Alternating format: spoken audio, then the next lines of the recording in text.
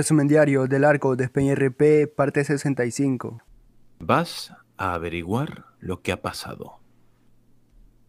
Y me vas a dar una puta respuesta.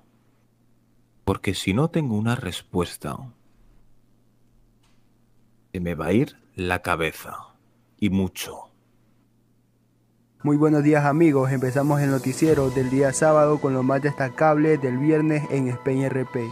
Empezamos con el caso de Horacio Gustavo, en donde el día de ayer se nos reveló que el señor Horacio no fue asesinado, sino que solo fue torturado durante todos estos días. Siendo más específico, Horacio recibió varios golpes hasta el punto de perder la memoria. Y más tarde, en las oficinas del CNI hubo varias confusiones por las declaraciones que dio Gustavo delante de Conway, ya que estas carecen mucho de sentido, pero todo apunta a que Gustavo está siendo un mentiroso con todos por su ambición de poder. No me subestimes. Yo no subestimo, pero usted está hablando aquí de matar a una gente que no ha hecho nada. ¿No era una familia el CNI? Porque, vamos, usted ahora mismo se está comportando como la mafia. Gustavo, Dígame, dígame. soy mil veces peor que tu puta mafia de mierda. Por la mañana del viernes, el señor Joey, en su rutina laboral, tuvo una pequeña plática con su pareja Ellie. En esta plática, Ellie le comentó a Joey que ahora de la nada todo el mundo la anda relacionando con el negocio de las bolsitas de meta. Dicha señorita al parecer anda paniqueada y le pidió ayuda a Joey, quien le pidió a Ellie que se aleje de todo este negocio mientras Ellie y su gente realizan las investigaciones correspondientes. Cabe mencionar que dicha relación podría venir por parte de la Note Rosa, la cual la tarde del jueves en el secuestro el que le dieron una pastilla a ella, le pillaron su celular y vieron todas sus conversaciones con Joey. No sé. Es que ya te digo, no quiero que pienses cosas que no son. No te preocupes. A mí lo que me llega a mis oídos siempre me llegan muchas historias, o sea, no te rayes, ¿vale? Yo solamente te pido que confíes y que me preguntes primero antes de creerte nada. Sí, yo soy así, soy una persona Vale, adulta vale. con dos dedos de frente. No voy a ir acusando Eso a la es- gente sin espero. hablar antes con la persona Vale, vale. implicada. Joder.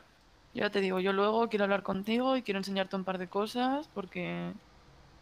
No sé. Ya te digo, me gustas mucho y no quiero esconderte nada. Perfecto, no te preocupes, que pues, luego cuando plegue te llamo, ¿vale? Ok. Venga, va. Venga, no te calientes ¿vale? mucho la cabeza, cariño. El día de ayer el señor Armando Grúas puso fin a la novela de Tonet, el cual días atrás junto a Juanjo en un estado etílico secuestraron y noquearon a Armando. Cabe mencionar que dicho PK solo consistirá en olvidar toda esta novela, más no el típico PK de banda, por lo que actualmente Tonet sigue en la mafia. Dime, ¿qué era tu fin? Recuperar el puesto de trabajo en el taller. Vale. ¿Para eso tienes que secuestrar? ¿No sabes hablar, hijo? ¿Por qué apareció en el hospital? A ver, ¿O ¿Por qué apareció en el hospital? Te digo una vez. Como me mientas... vale, te lo voy- vale, no es mentira esto que te voy a decir.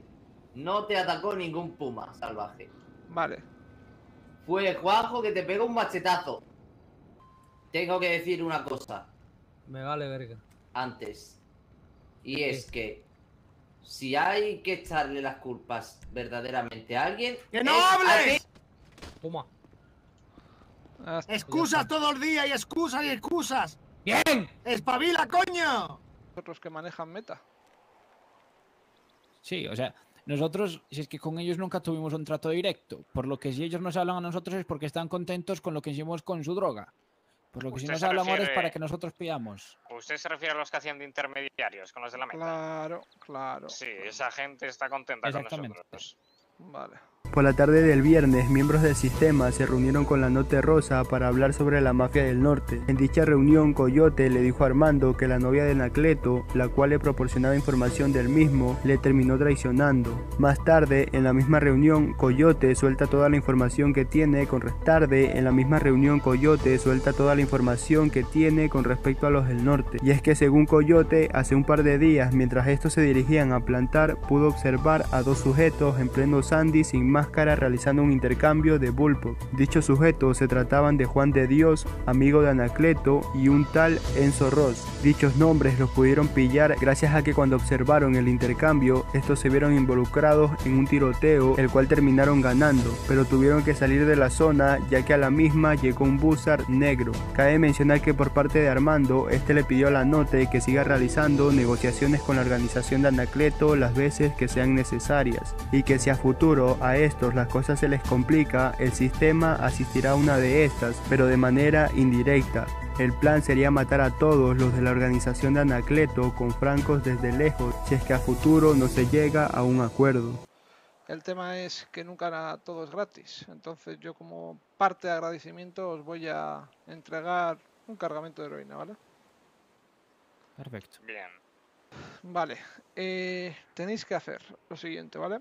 Tenéis que quedar con ellos, hacer un trato, eh, que no sospechen nada, ir dos, tres, fijaros qué zonas, dónde se colocan, eh, si algún otro puede ir un poco, unos kilómetros más atrás, para ver si hay alguien en alguna montaña. Lo que vamos a hacer, lo que tenemos que hacer en esa reunión, aparte de lo que usted dice, es llevar a un men que esté escondido, totalmente por escondido. ¿Por qué? Porque si nos dan el palo, Gracias. Que ese men lo pueda contar, ¿entiende? Sí. Igual que me pasó a mí con la, con la, con la, con la novia de Anacleto. Puse, este men estaba escondidito esperando a ver si pasaba algo y efectivamente pasó. Nosotros siempre hacemos eso, siempre que quedamos con alguien que podemos desconfiar, mandamos a uno que se aleje. Son temas Que vea todo delicados y hay desde que el ir con cuidado. Exactamente. El señor Hermenegildo le comentó a la Note Rosa que Romeo, un ex compañero suyo de grupo, le debe más de 400 mil dólares y que tiene pensado recuperar dicho dinero a través de una estafa, pero que para esto necesita de la ayuda de la banda. Cabe destacar que Hermenegildo no tiene pensado abatir al grupo de Cruz porque según él cuando se fue de los azules se llevó consigo varias armas. Claro, tiene que tener A un ver, plan, ellos tienen, ellos tienen pensado con ese dinero comprar droga, ¿no? Me dijeron que no me lo daban. Se fueron cinco días de vacaciones todos. Y me dijeron que... No lo sé. Creo que ¿De no. vacaciones pagadas por ellos o pagadas por alguien? Pagadas por, por los dioses. Perfecto. Bueno. No sé si han vuelto. Eh, cuando vuelvan todo ese dinero no me lo quisieron dar porque era para las drogas. Le dije, dame el dinero, que os vais de vacaciones, quiero tenerlo. Me dijeron que no.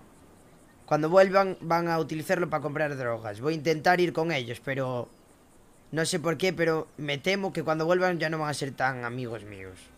El señor Jazz el día de ayer le comentó a Mike que el día jueves junto a Chris ayudaron al padre José Cristo en un inconveniente el cual dejó como consecuencia a un policía abatido. Lo complicado aquí es que tiempo después el cura le comentó a Jazz que él sabe que Chris fue uno de los que lo secuestraron cuando los zombies hicieron un robo a Banco Central. En pocas palabras, el cura sabe que uno de estos manejan el tema de las armas y que si en algún momento al padre se le ocurre decir algo de esto a otras personas, esto a futuro podría traerles problemas, ya que si relacionan a Chris con Jazz y a Mike lo ven con el calvo y Leticia, pues prácticamente estarían desmantelando a toda la mafia. Cabe mencionar que luego Mike fue a confesarse y de manera indirecta le comentó esto al padre, quien dio como respuesta que no le haría eso a alguien que lo considera como a su familia. Y este hombre que, que se llama Jazz, eh, supongo que lo conocerás también.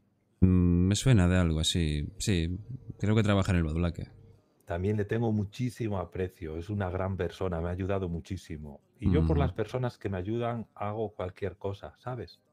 Entiendo. Porque falta mucho en esta ciudad esa idea de familia y de lealtad.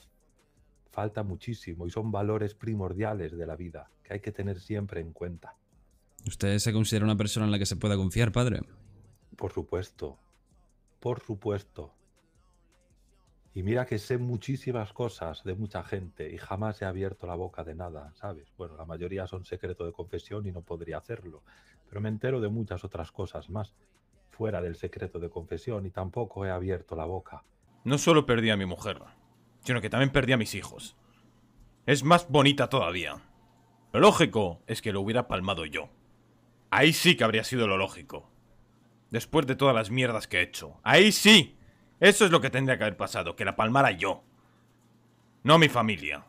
El superintendente Conway en las oficinas del CNI informó de varias situaciones por las que ha estado pasando la ciudad a Volkov y a Michelle, como por ejemplo, primero a esto los puso en contexto sobre la situación de Horacio y Gustavo, diciéndoles en pocas palabras que Conway es quien está manipulando a estos dos. Acto seguido, Conway también les platicó sobre la desconfianza que le tiene al hospital por el tema de Lara y demás. Cabe mencionar que después de esto, Conway en un estado depresivo le pidió a Volkov que le pegue un tiro, pero este se negó diciendo que lo hará cuando lo vea necesario.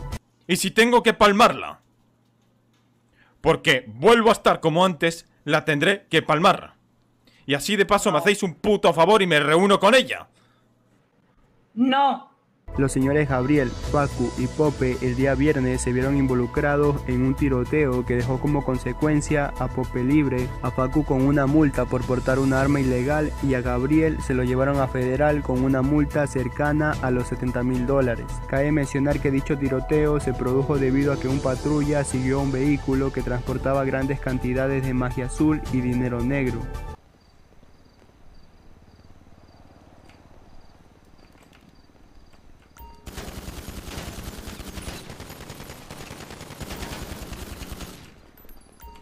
Malo soy.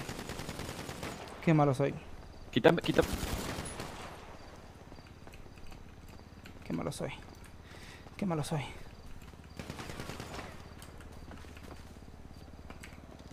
Qué malo soy.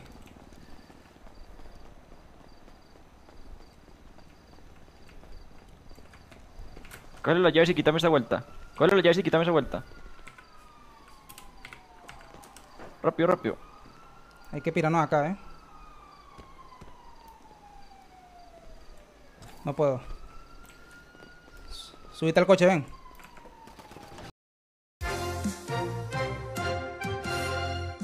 El día de ayer Joey nos presentó a Rifeño como el nuevo miembro de la SL. Con esto actualmente la banda ya estaría al completo y los miembros que destacan en la misma son Joey, Sam, Paisa, Pibe, Belfort, Chris y Rifeño. El señor Armando Grúas le dijo a Coyote que iba a mandar un informe a comisaría sobre la novia de Anacleto, la cual, siendo policía, tiene la manía de portar una P estando fuera de servicio y además de esto se la relaciona con una organización. En pocas palabras, probablemente la expulsarán del CNP. Por unos problemas que tuvo Hermenegildo con una de las hijas de Mike hace un par de días, este le comentó a la Note Rosa que Mike le había realizado una amenaza. Aquí lo curioso es que previo a esto, Hermenegildo conoció los helicópteros, casa y estado económico de Mike, por lo que no nos sorprenda si en un futuro la Note Rosa realiza una emboscada a dicho sujeto. En un intercambio con los zombies cortadedos, un sujeto soltó varios nombres que posiblemente tengan algo que ver con los de la meta. Dichos nombres son Elisa, Charlie y Chris. Simón, un miembro de los zombies cortadedos, anda en búsqueda de números de gente que venda meta para sí mismo. Los motivos se desconocen, pero Simón argumenta que él la quiere comprar y él la quiere vender. El señor Santiago, uno de los miembros de los extraditables, fue sometido a una operación la cual salió exitosa pero con grandes consecuencias. Por ejemplo, de ahora en adelante el sujeto podrá vivir pero con un marcapasos, un aparato que limita la actividad del mismo.